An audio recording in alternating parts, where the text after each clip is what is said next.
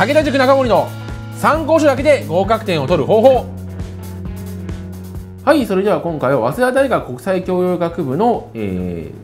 ー、2017年の日本史の勉強について話していきたいと思います。えー、こちら、えー、配点50点で時間が60分、えー、となっており、大問が4題出題されております。で、ここの問題の特徴としては、英文の資料が、えー、毎年1題出題されると。で、ただこれに関しては、資料そのものはそんなに難しいものが出るわけではないので、えー、まあ、読めれば対応できる、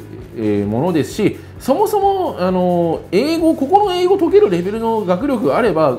まあ、正直過去問ちゃんとやっていれば読めない内容ではないので、まあ、通常の資料対策やっておけば十分対応できる難易度かとは思います。で、それ以外の問題に関しても、えー、まあ、忘れレベルまでやってるという前提にはなりますが、であれば、えー、過去問やっていれば十分対応できますし、まあ、余裕があれば多学部の問題も触れておけば、えー、十分回答できる、えー、難易度であるとは思います。ただ、その、どうしてもその、